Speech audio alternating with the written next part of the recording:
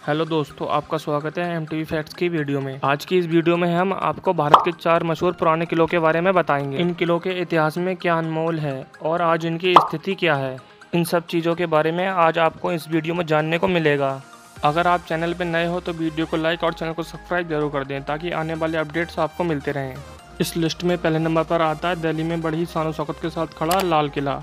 दोस्तों, चलिए इस वीडियो में जानते हैं। रेड फोर्ट यानी लाल किला, जो कि दिल्ली के बाज़ार एरिया में स्थित है, जो कि दिल्ली की जामा मस्जिद से सामने की तरफ़ दिखाई देता है। लाल किला हमारे देश का सबसे मशहूर किला है। दोस्तों, इसका निर्माण मुगल एम्पर शाहजहां ने सोलह में करवाया था। इस किले का आर्किटेक्चर आज भी लोगों को अपनी ओर खींचता है। इस किले की दीवारें ढाई किलोमीटर तक लंबी हैं।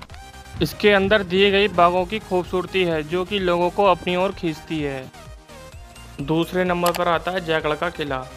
यह किला भारत के राजस्थान की राजधानी जयपुर में स्थित है। यह किला जयपुर के सबसे बड़े किलों में से एक है। इस किले का निर्माण भी मुगल एम्पायर शाहजहां के सामने करवाया गया था। इस किले में हुई कलाकारी को देख लोग हैरान हो जाते हैं। जयगढ़ का किला राजस्थान के इतिहास और संस्कृति का एक महत्वपूर्ण हिस्सा है। इस किले के अंदर एक चीज़ और है जो लोगों को अपनी ओर आकर्षित करती है, जयवाना कानून। जो इतिहास की एक खूबसूरत तस्वीर है। तीसरा किला है ग्वालियर का किला। यह किला मध्य प्रदेश के ग्वालियर में स्थित है। इस किले के नीचे ही पूरा ग्वालियर शहर बसा हुआ है। इस किले के आर्किटेक्चर में हिंदू, मुगल और ब्रिटिश की खूबसूरती का समावेश किया गया है। इस किले में आपको जौहर कुंड और मंदिर पैलेस जैसी चीज़ों को भी देखने को मिलेगा। यह ग्वालियर की एक बहुत ही खूबसूरत आकर्षनुमा चीज़ है और ये देश के इतिहास में बहुत ही महत्वपूर्ण स्थान रखता है। नंबर चार पर आता है चित्तौड़गढ़ का किला।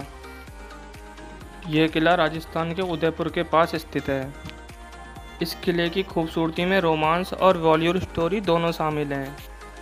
चित्तौड़गढ़ किले की महत्वपूर्ण बातें यह है कि ये यूनेस्को की धरोहर है। इसलिए इसका कन्वर्सेशन काफ़ी इम्पोर्टेंट है, ताकि अपनी फ्यूचर जनरेशन को खूबसूरत इतिहास मिल सके। वीडियो पसंद आई तो वीडियो को लाइक और चैनल को सब्सक्राइब करना ना भूलें।